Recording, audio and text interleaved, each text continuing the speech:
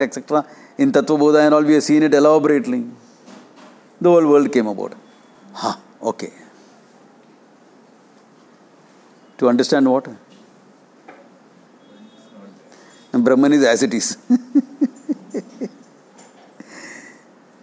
if you cannot understand the fact that what you call as the world is not there really speaking.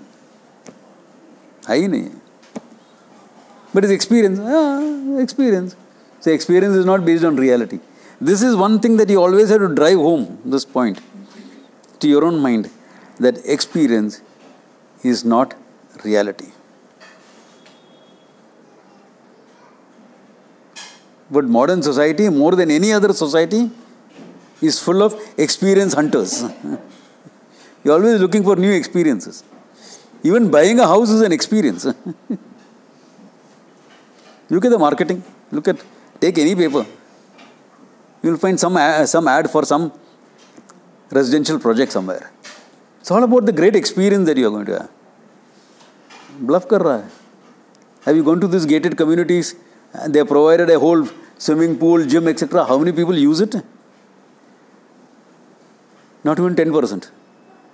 10% is high. 10% is high. Yeah. You look at some of the lower Parel and this thing. Communities there, go Yeah. Hardly anybody in the pool. Hardly anybody in the gym, 10%. 10% will be very high.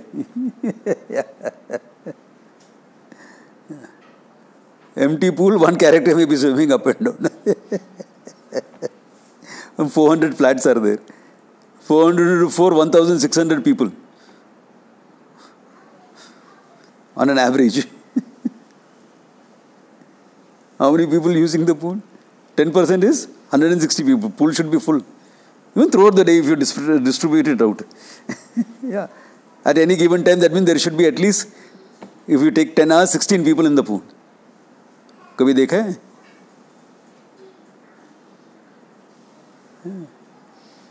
numbers don't lie share bluff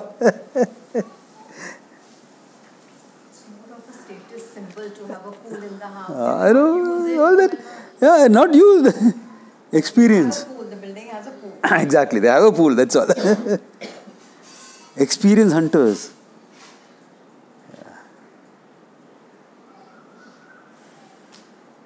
It's all experience hunting. Because we are given that experience so much of validity. And also understand experience means mithya, not real. Starting from your fundamental experience of time and space.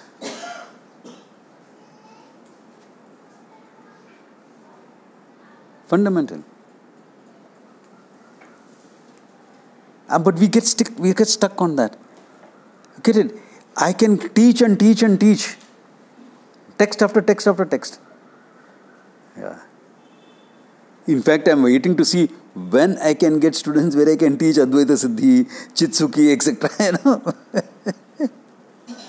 ये सब text कभी मिलेगा students no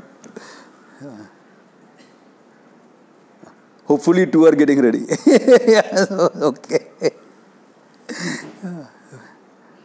But it won't work unless the basic is sorted out. That this maya mohita that has to be taken seen very clearly. Yeah. We get so caught up in our roles the way we do things. Rules and regulations means we take it very seriously. And the way we do things we get so caught up in that. We can't see beyond that. Our food habits are this we're so caught up we are not learned to loosen those bonds of social structures of your personal way of doing things. You're so conditioned by that. Food means it has to be like this. Why? If you are talking purely on the basis of nutrition etc i'll understand. But you're not talking purely on the basis of nutrition. You're talking in terms of the way it is produced what type it is. You're talking on those types Yeah. You're so caught up in that. And we are talking about moksha, deconditioned mind. Yeah. The way you dress, the way you present yourself, the way, every small thing. How you should behave, how your husband should behave, how your daughter should behave, how your son should behave. So strict about these things, so conditioned about these things. What you should do to your parents, what your parents should do to you, what you should do as a parent, what the kids should do as the kids. We have all fixed things. And if you're so caught up in that, tell me, where are you going to see? It's all Manorajyam. He is right when he says Manorajyam because where is reality there? Where is the reality? Is there a rule like that? No, but what about dharma, etc.? Guiding principles. Dharma is only guiding principles. Dharma is universal. Dharma is principles. It is not rules and regulations. Yeah, dharma is made into rules and regulations for the masses who cannot understand beyond rules and regulations. You can't, as a student of Vedanta, talk, talk about rules and regulations. You have to talk about dharma, yes, I'll accept it. Yeah.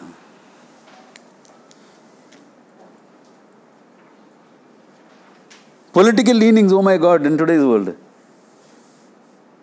Previously, that was not so strong in India. You know, whether you're NDA, UPA, Third Front, it was not so strong in India. Only in states you had that. Eh? Born Democrat, born Republican. you can't change that. You know? in it was there. The same thing is coming into India also. Previously we were quite flexible. Yeah. No, no, you are right wing. No, no. RSS supported Indira Gandhi sometimes. RSS supported BJP sometimes. RSS was quite open about both. How can that be? That's not true. That is your all false propaganda.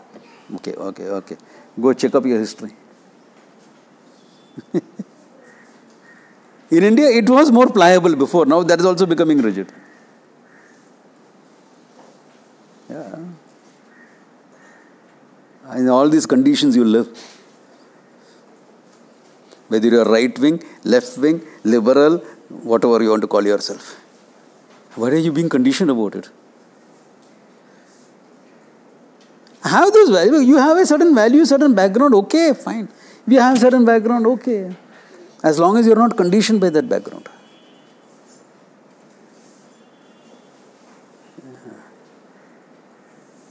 It's important. It's you can't help having a background.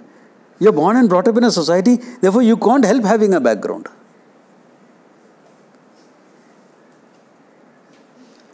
To be conditioned by your background is a different thing altogether. You are exposed to certain influences. Can't avoid it, whether it's liberal or orthodox or traditional or you can't avoid it because that's what you're exposed to. Are you conditioned by it? Condition in two ways following or rebelling. Both are conditionings anyway. Following, you're creating the script and you're accepting it. Rebelling, you're creating an anti script where the script is still there. Yeah? what do you mean by conditioning? If you're born in those values and traditions, yeah. You're still conditioned. Yeah, but you can choose to be different. You can examine it and choose to be different. Yeah. Different, and again, you're by something else. Correct. So it's very difficult not to be conditioned. So if you're living in society, you will be conditioned. No. You can follow certain norms, like simple thing. I'll give you my example. I wear this dress, now. Why? Because this is a norm. As a teacher, as a sannyasi, you wear saffron. Okay? Though there are some who will feel this is not traditional enough. Why? Angavastram is not there. Upavastram is not there. Or I'm wearing a kurta. It should be only upavastram, like how my teacher did. Okay? Yeah, so I wear this. I give in to the norms. It's only a norm. I'm the same whether I'm in this or a three piece suit. Doesn't make a difference.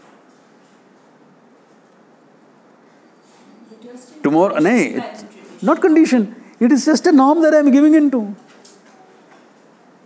Yeah. When it becomes condition. When I practice my martial arts, I'm not wearing this dress. oh, as a sannyasi, how can you do that? Why not?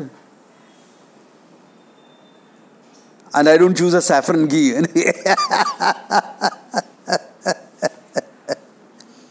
Are you getting the idea? It's okay. It's a norm. It's a uniform. It's a norm. You follow it. That's it. Then it is not a conditioning.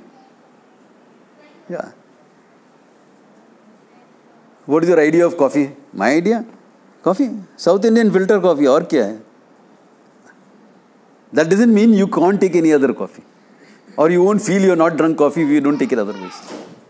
Are you, you know, one is a conditioning, one is just a preference. As long as you make your conditioning into preferences, really preferences, not verbally preferences. Yeah. What's your ideal meal? What's your typical meal? A typical meal, what my bike cooks. I don't know what a typical meal. But people are conditioned by that. Unless they eat this thing, they don't feel they had a meal. I knew this. Young, they were young at that time. Typical Tambram, okay? Young. We went for a Marwari wedding. Okay? Went for a Marwari wedding. Now, you know what the Marwari food is like. Great food. And wedding food means you are stuffed, you are only ready, uh, fit to keel over and go to sleep. That's what the. So we were all staying in the hotel and we came back. And this lady is saying, lady meaning 27, 28 year old girl, okay? Saying, I want to have some curds. Otherwise, I don't feel the meal is complete. Said, you have stuffed yourself, but it's not complete unless you have some curds. Can you see how conditioning it is? So conditioning is when it troubles you, it disturbs. Yeah, when you can't do without it. When you're so bogged down by it. But it's still Maya. You Yeah, it's still it's still Maya. But then, if you're conditioned, you're so caught up in the trap, you cannot free yourself. The teaching will not work. Teaching will free you. The only thing that will free you from the whole thing is teaching. But the teaching will not work because your mind is bogged down on these small little details.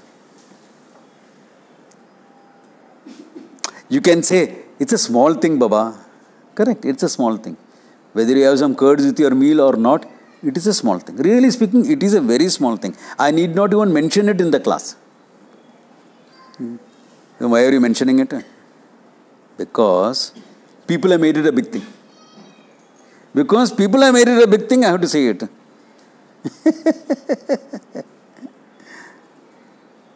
it's the small things that condition, not the big things. We are conditioned by our values also. Uh, our values. Yeah. You can be conditioned by your value structure also, correct? So it's, a, it's supposed to be having a value. As a value, if you follow it, you will not be conditioned by it. Why? Because you will know when to follow, when to change, when to modify. You will know that. Yeah, there are, because in dharma there is no rule made by God or man that does not have an exception.